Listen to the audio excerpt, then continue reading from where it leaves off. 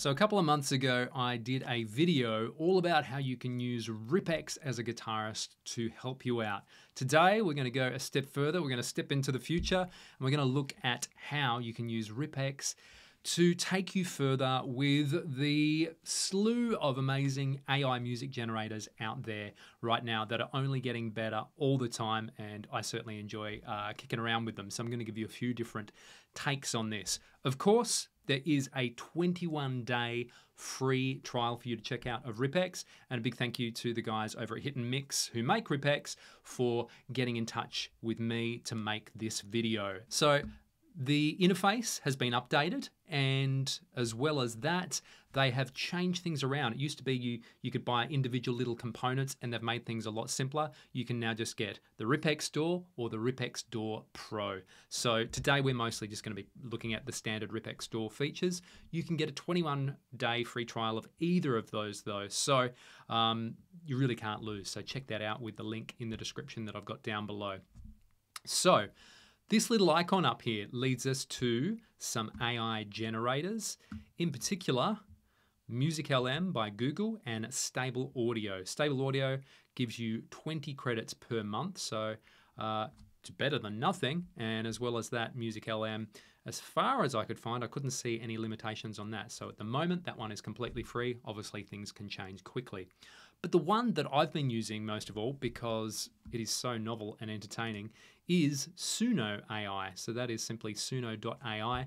And with that, the reason I like this one is you can input your own lyrics and it will create an AI singer as well as the music, which is just crazy.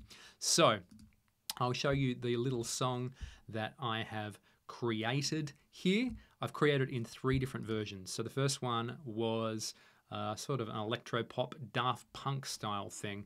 And that's what I put in there. I think I put electro pop Daft Punk style and it actually did manage to pick up on the vibe. So here we go.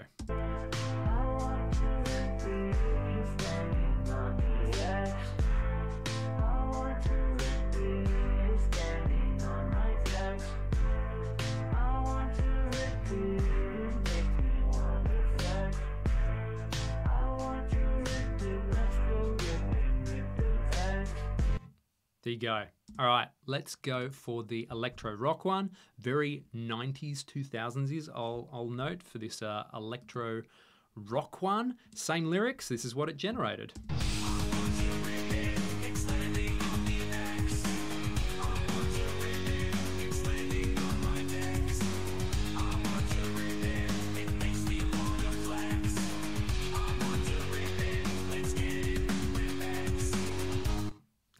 And the one that you've been waiting for, the hard rock, and I'd even say slightly metalish one as far as the vocals go on this one.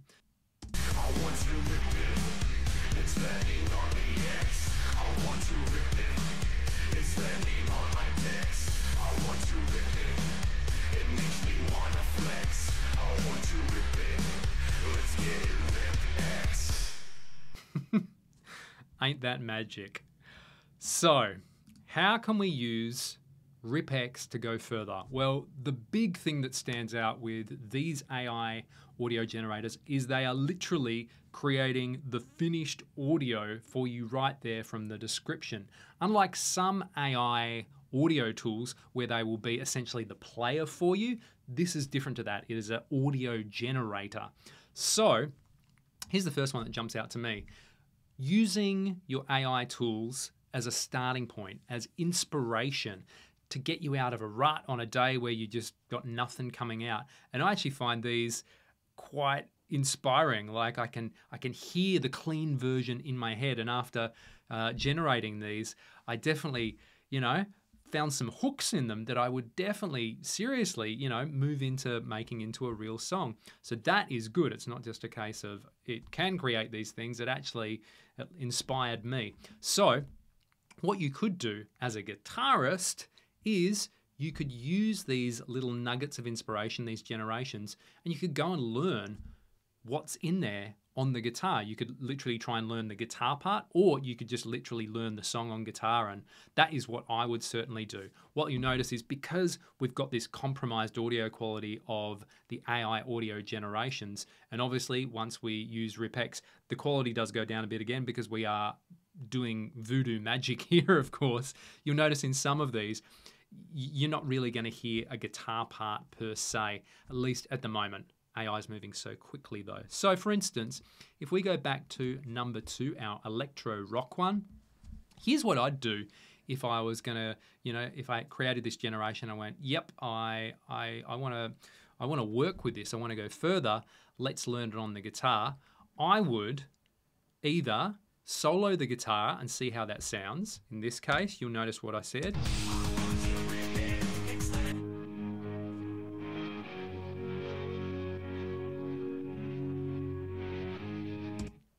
clearly I can hear two chords there. So that works. But as I said, because the AI audio is not great quality right now, it's just not terribly pleasing to the ear. And I can probably pick up uh, what's happening there overall. Like when I do guitar lessons uh, for my videos on YouTube, what I tend to do is I like to play the song, not just the guitar part a lot of the time when I'm doing these acoustic lessons. So I really like to kind of learn what's happening in the instruments in general. So what I would do rather than just soloing the guitar is I'm going to mute instruments that I don't want to hear. So in this case, the vocals, we could get rid of the vocals here. So I'm going to jump back up to our master. There we go.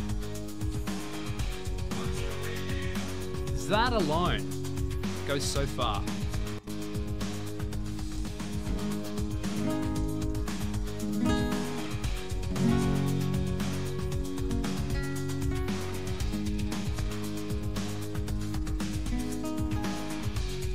voila, we've got our two chords A flat down to G flat. No third in there, so you could make it G flat major or G flat minor. Different vibes there. There we go. We've learnt the guitar part there. So that's the first way. As a guitarist, we've created this generation for inspiration and we've now taken it into the world of our instrument.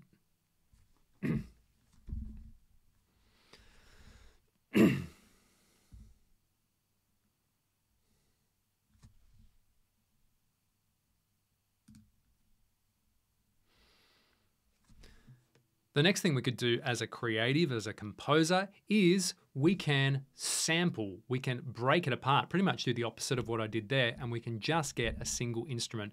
For instance, maybe I just want to take the vocal from that and do everything else real. Now, as I said, the AI generations, at the moment, you're going to be like, well, that's not terribly usable. Give it a month, give it two months. Stuff's moving so fast, it's ridiculous. So, Come back in six months and it'll be a very usable vocal there. So let's have a listen to just the vocal.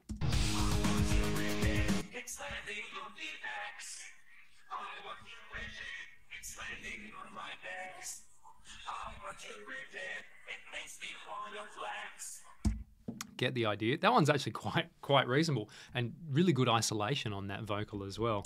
So that is the other way. We can sample and then bring that into our creations from there, whether that is just pulling this out and putting it into something else, or if we are actually recreating uh, this track to some degree in our, you know, our real world environment. So from here, we can then think about composing, we can think about form. What you notice is these creations are only 20 to 30 seconds. Obviously, the, the limitations on uh, the expense of doing these generations at the moment consumes a lot of power. It's actually, I'm really surprised that Suno is free. I'm not sure how they're managing to do that. Um, and Google LM, LM as well. Uh, obviously, some of these have the, have their caps of how many free generations you get. So that's part of the factor. Obviously, these are going to get longer, and you are going to be able to create more than a single section. But at the moment, that's what I'm dealing with there. I've I've got like 20 seconds or so that I've had as my generation. So what I could do is I can get there and I can extend, I can loop things, I can create our repeats, I can lengthen, and I can think about song form as well. So as far as composing goes, that's what I can do right inside of RipX DAW. So once we've got our edges worked out, that would be as simple as in this case, I'm just gonna select all, there we go, copy, and then I can move over to the end and voila, we've copied it. In this case, Suno has a weird habit of kind of not starting right at the start of the bar, so I'd have to do a little bit of trimming. But essentially, you've got the idea there. We are creating our repeats. From there, we could then go into the vocals. We could take away the vocals for our second time through if we wanted to, or maybe for the intro, we could think of, of that being the case. So there's our vocals gone. We're starting to think about format now. So this could be our intro here, which is then going to lead into our verse with our vocals.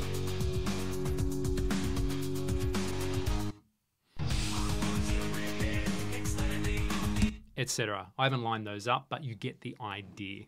Another thing we can do, which is really amazing within RipX, is that we can simply replace instruments. And it's funny saying instruments because everything is synthetic here, and then we are replacing that synthetic AI instrument with a uh, synthetic instrument. Things get kind of very um, inception-y. So for instance, if I come down to my guitar here, which,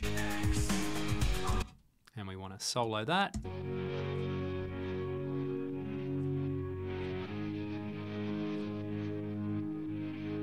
etc.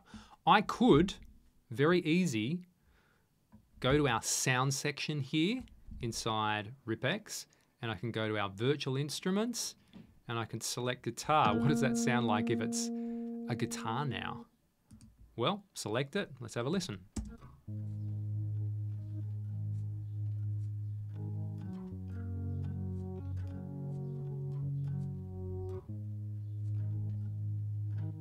So we've got a new sound in there.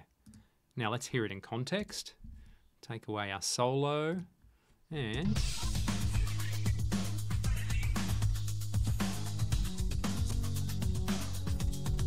completely different vibe.